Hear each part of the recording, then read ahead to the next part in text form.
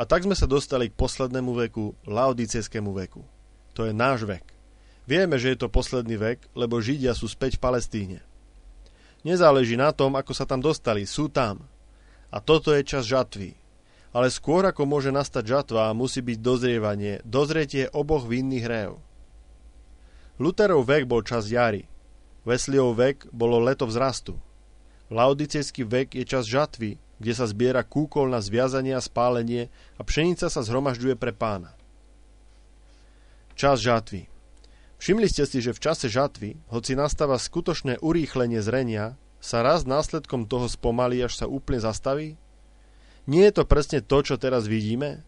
Falošná vínna réva stráca veľké masy v komunizme a rôznych iných druhoch viery. Jej počet nestúpa tak, ako by chcela, aby sme si mysleli. Jej držanie ľudí už nie je také ako predtým a v mnohých prípadoch je chodenie do kostola len divadlo. A pravá vína réva? Čo je s ňou? Rastie? Kde sú tie obrovské zástupy, ktoré prichádzali na prebudenecké zhromaždenia a odpovedali na volanie Goltáru? Nie je väčšina z nich vo svojom postoji len emocionálna alebo žiadostivá radšej po niečom hmatateľnom, než dychtivá po tom, čo je skutočne duchovné? Nie je tento vek ako deň, v ktorom Noé vošiel do archy a dvere sa zatvorili a predsa Boh ešte 7 dní zadržiaval súd. Nikto nebol doslova obrátený k Bohu v tých 7 tichých dňoch. A predsa je to čas žatvy. Potom musia vystúpiť na scénu v tomto veku tí, ktorí privedú pšenicu a kúkolku zrelosti.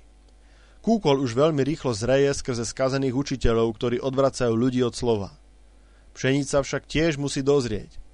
A k nej Boh posiela proroka posla s potvrdenou službou, aby mohol byť prijatý vyvolenými. Oni ho budú počuť, ako práva církev počula Pavla a budú dozrievať v slove, až kým, stanúť sa nevestou slova, v nej budú nájdené mocné skutky, ktoré vždy sprevádzali čisté slovo a vieru. Falošné cirkevné skupiny sa zídu spolu vo Svetovej rade cirkvi. Táto Svetová rada cirkvi je ten obraz, ktorý bol postavený šelme. Zjavenie 13, 11 až 18.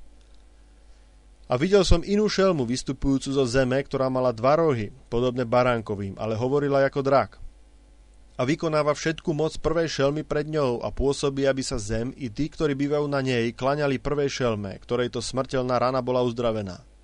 A robí veľké divy, takže aj ohňu dáva zostupovať z neba na zem pred ľuďmi a zvodí tých, ktorí bývajú na zemi, pred divy, ktoré sú jej dané urobiť pred šelmou a káže obyvateľom zeme, aby spravili obraz šelme ktorá mala ranu od meča a ožila.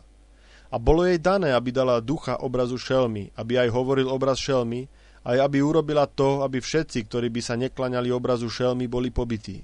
A pôsobí to, aby všetkým, malým i veľkým, bohatým i chudobným, slobodným i sluhom, dali rité znamenie na ich pravú ruku alebo na ich čelo, a aby nikto nemohol ani kúpiť, ani predať, iba ten, kto má znamenie, alebo meno šelmy, alebo počet jej mena. Tu je múdrosť.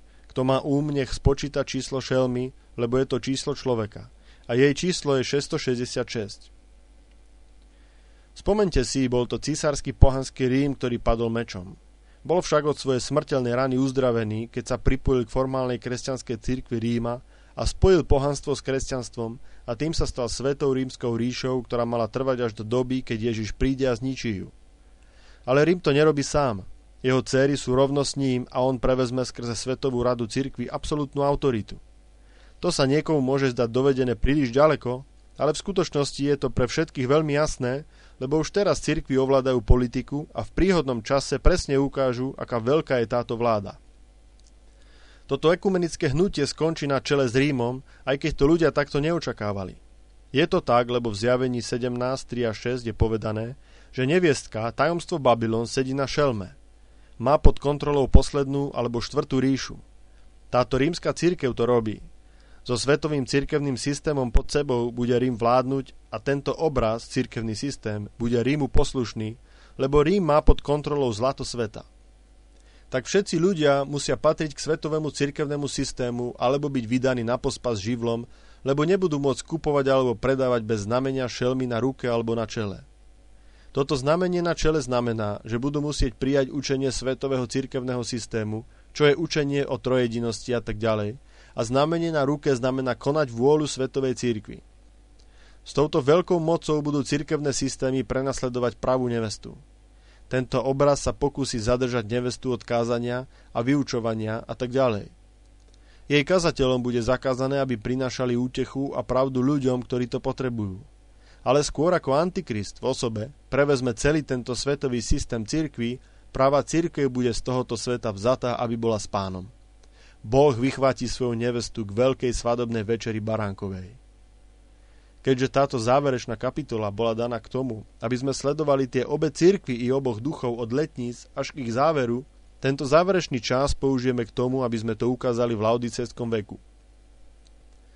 Tento vek začal priamo po prelome 20. storočia.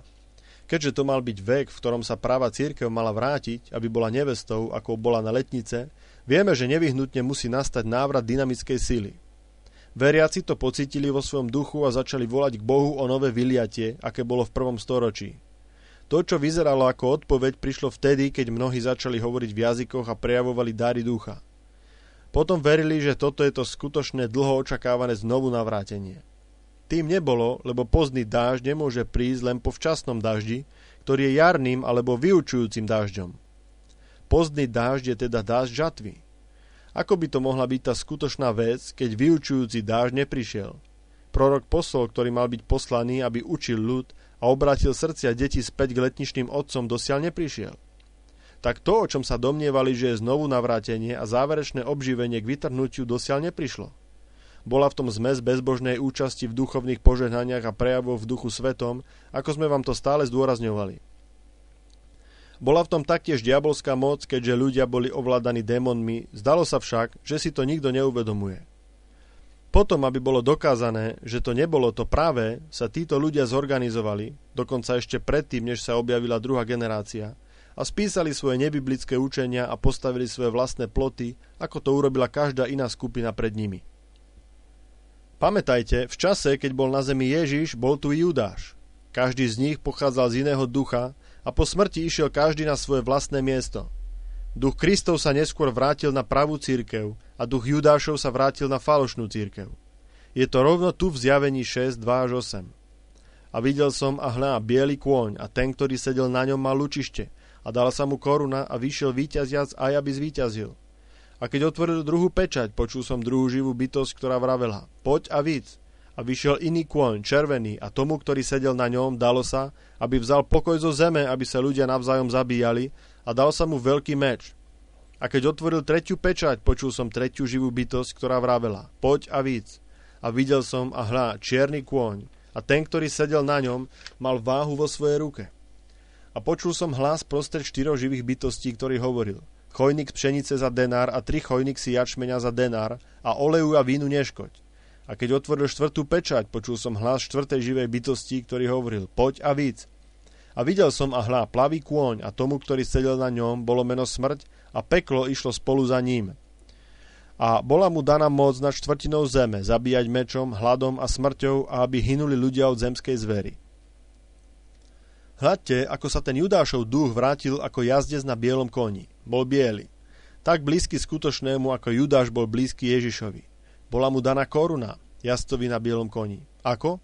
Ten duch bol teraz vo vodcovi Nikolaického systému a bol to trojnásobne korunovaný pápež, ktorý sa posadil ako boh vo svojom chráme, nazývajúc sám seba zástupcom Krista. Ak zástupca Krista znamená na miesto Krista, alebo na mieste, alebo v zastúpení Božom, potom pápež nazýval sám seba Duchom Svetým, alebo zosadil Ducha Svetého konajúc za neho. Bol to Judášov duch v ňom, ktorý to robil. Hľadte, ako premohol. Išiel premáhajúc a premohol. Kristus to nerobil. Tí jediní, ktorí k nemu prišli, boli už otcom predurčení. A tak ten duch postupoval stále ďalej a ďalej, až sa jedného dňa stane skutočným vtelením v človeku, ktorý bude na čele Svetovej rady cirkvy, ako sme to hovorili. A svojim zlatom, spomente si, že Judáš držal mešet, bude ovládať celý svet a ten antikristovský systém bude vlastniť všetko a bude sa snažiť každého ovládnuť. Ježiš však príde späť a všetkých ich zničí zjavením, jasnosťou svojho príchodu. A ich koniec bude ohnivé jazero. Ale čo práve semeno? Stane sa, ako sme povedali. Ľud Boží je pripravovaný slovom pravdy od posla tomuto veku. V ňom bude plnosť letníc, lebo duch navráti ľudí rovno späť tam, kde boli na počiatku. To je tak, hovorí pán. Je to tak, hovorí pán, lebo to je to, čo hovorí Joel 2, 23 až 26. A vy, synovia Siona, plesajte a radujte sa v hospodinovi svojom Bohu, lebo vám dá učiteľa, ktorý povedie k spravodlivosti a zošle vám hojný dáž, podzimný i jarný najprv. Humna sa naplňa obilím a preše budú oplývať vinnou šťavou a olejom. A nahradím vám roky, ktoré požrala kobylka, pažravá chrobáč, chrúst a husenica, moje veľké vojsko, ktoré som posielal na vás a tak budete jesť a nasítite sa a budete chváliť meno hospodina svojho Boha, ktorý učinil s vami predivné veci a môj ľud sa nebude viacej hambiť na veky. Nuž je tu povedané, že Boh sa chystá obnoviť. Luterov vek neobnovil církev, on začal reformáciu. Vesliov vek neobnovil, letničný vek neobnovil, ale Boh musí obnoviť, lebo on nemôže poprieť svoje slovo. To nie je vzkriesenie cirkvi, je to znovu navrátenie. Boh privedie církev rovno späť k letniciam, aké boli na začiatku. Teraz si všimnite, že vo verši 25 hovorí, prečo potrebujeme znovu navrátenie. Kobylky, husenice, chrobáci a červí zjedli všetko okrem koreňa a malej časti stonky. No vieme, že všetok tento hmyz je jeden a ten istý hmyz v rôznych štádiách. To je správne. Oni sú antikristovským duchom prejaveným v organizácii, denominácii a falošnom učení v priebehu vekov a ten úbohý malý koreň a stonka budú obnovené. Boh nezasadí novú církev, ale svoju pôvodnú sadbu privedie späť k pôvodnému semenu. Robí to, ako je vo verši 23, vyučovaním alebo včasným dažďom. Ako ďalší príde dáž žatvy alebo viera do vytrhnutia. Tak sme práve v tejto chvíli v úplnom vyplnení Matúša 24.24. Tak, že by zviedli v blúd, keby bolo možné aj vyvolených. A kto to je, kto sa pokusí zviesť skutočných vyvolených? No predsa duch antikristov vo falošných pomazaných tohoto posledného dňa. Títo falošní už prišli v Ježišovom mene, tvrdiac, že boli Bohom pomazaní pre ten posledný deň. Sú falošnými mesiášmi, pomazancami. Tvrdia, že sú proroci. Sú ale jedno so slovom? Nikdy. Oni k nemu pridali alebo z neho ubrali. Nikto nemôže poprieť, že duch Boží prejavujúci sa v dároch je na nich ale ako Balám majú všetci svoje programy, žiadajú peniaze, používajú dary, ale zapierajú slovo, alebo ho obchádzajú zo strachu, že spor môže zmenšiť ich šance na väčší zisk. Kážu však spasenie a oslobodenie mocou Božou, práve ako Judáš so službou danou Kristom. Ale pretože sú nepravé semeno, v dôsledku toho majú nesprávneho ducha, ktorý ich motivuje. Nábožný? Ach, oni svojim úsilím a horlivosťou vyvolených zatieňujú, ale je to laodicejské, nie z Krista, lebo vyzerajú po veľkých zástupoch, veľkých programoch a prekvapujúcich znameniach medzi sebou. Kážu druhý príchod Kristov, zapierajú však príchod proroka posla, aj keď v moci, znameniach a pravom zjavení ich všetkých zatieňuje. Ó áno, tento falošný duch, ktorý je v poslednom dni tak blízko tomu pravému, môže byť význačný len svojou odchýlkou od slova a kedykoľvek je pristihnutý, že je antislovom, uchyluje sa k tomu argumentu, ktorý sme už ukázali ako falošný. Máme úspechy však, musíme byť od Boha. Teraz, skôr ako zakončíme, chcel by som priniesť túto myšlienku. Po celý čas sme hovorili o pšeničnom semene, ako bolo pochované, potom vypustilo dva lístky, potom stonku, potom pravý klás. Toto možno niektorých udivuje, keď sme povedali, že luteráni nemali Ducha Svetého len preto, že v podstate učili ospravedlnenie. Možno to niektorých udivuje ohľadom metodistov a tak ďalej. Neveru to nehovoríme. Nehovoríme o jednotlivcoch alebo ľuďoch, ale o veku. Luther mal ducha Božieho, ale jeho vek nebol vekom plného obnovenia skrze ďalšie vyliatie ako na počiatku. Takisto to bolo s Wesleyom, Bootom, Knoxom, Whitefieldom, Brainardom, Jonathanom Edwardsom, Müllerom a tak ďalej. Iste boli plní ducha svetého. Áno, iste boli ale vek, v ktorom každý z nich žil, nebol vek obnovenia ani žiaden iný vek, ale tento posledný vek, vek úplného zatemnenia v odpadnutí. Toto je vek odpadnutia a toto je vek znovu navrátenia. Je to vek ukončeného cyklu. S týmto je všetko skončené. Uzavierame teda sedem cirkevných vekov, hovoriac len to, čo povedal duch každému veku. Kto má uši, nech počuje, čo duch hovorí zborom. Úprimne verím, že duch Boží k nám hovoril. Nie len, že nás vyučoval pravdám tých vekov, ale verne prehovaral k srdciam, aby sa k nemu obrátili. To je ten dôvod všetkého kázania a vyučovania, lebo vďaka kázaniu a vyučovaniu slova počujú ovce hlas Boží a nasledujú ho. Ani na jeden okamih neprinášam ľuďom posolstvo, aby nasledovali mňa, alebo sa pripojili k môjmu zboru, alebo založili nejaký spolok alebo organizáciu. Nikdy som to nerobil a ani teraz to neurobím. Nemám o tie veci žiaden záujem, ale mám záujem o veci Božie a ľudí. A ak by som mohol dosiahnuť len jednu vec, budem spokojný. Tá jedna vec je vidieť upevnený a skutočný duchovný vzťah medzi Bohom a ľuďmi, v ktorom sa ľudia stávajú novými stvoreniami v Kristovi, naplnenými Jeho duchom a žijúcimi zhodne s Jeho slovom.